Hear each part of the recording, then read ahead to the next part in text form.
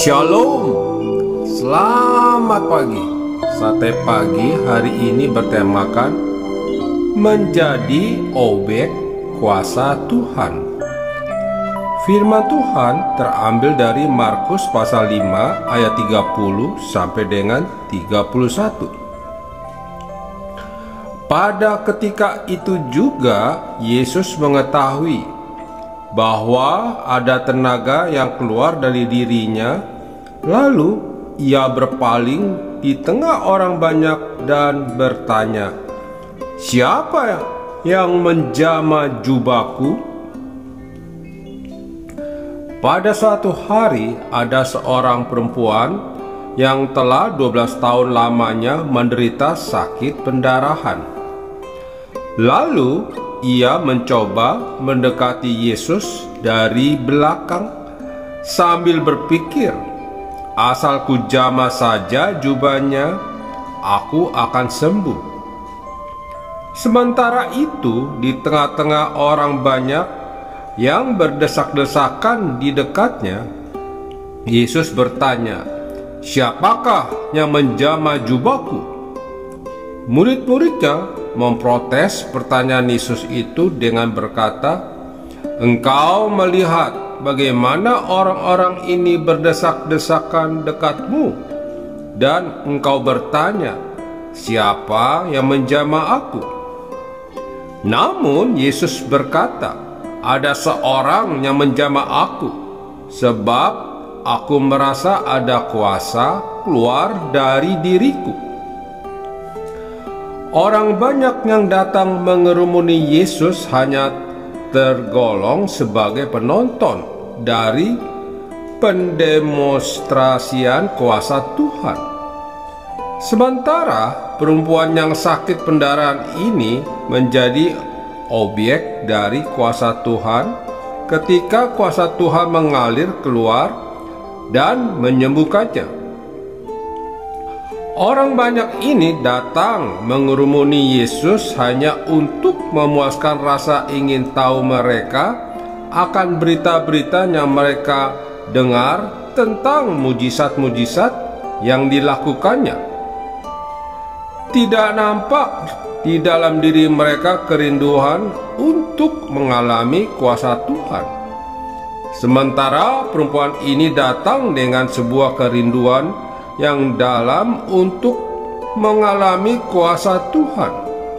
Berita-berita yang ia dengar tentang Yesus menjadi batu-batu yang membangun sebuah momentum yang mengubah sejarah hidupnya.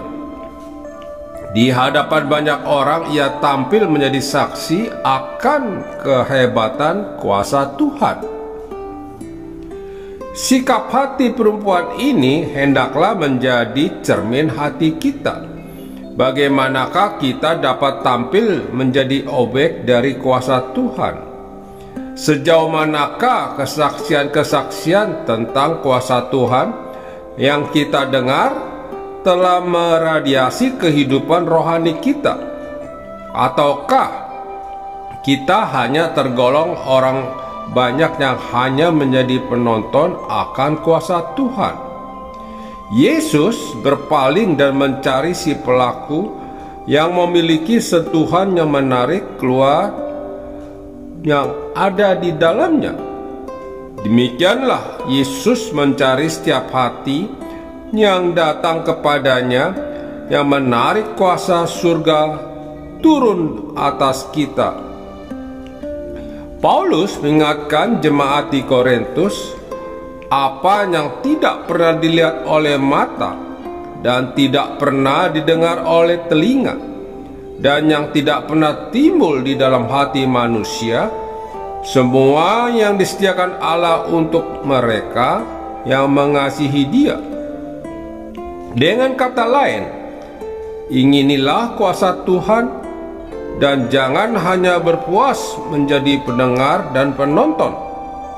Jangan menjadikan berita tentang kuasa Tuhan hanya sebagai penambah kepintaran otak kita. Jadilah seperti perempuan ini yang mentransformasi berita-berita tentang kehebatan Tuhan menjadi sebaris kalimat iman yang dahsyat. Asalku jamah saja jubahnya, aku akan sembuh.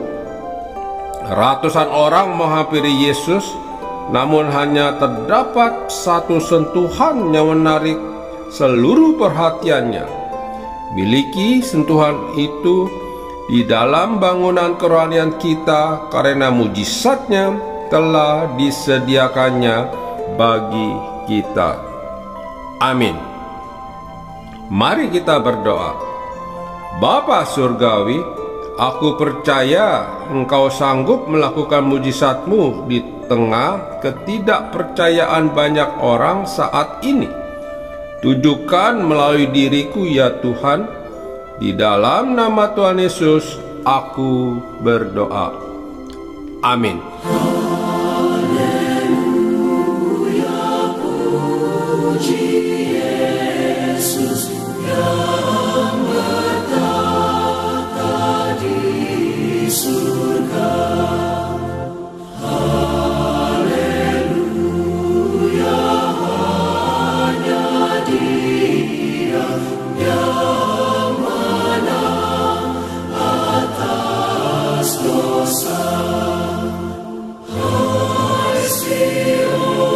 soul.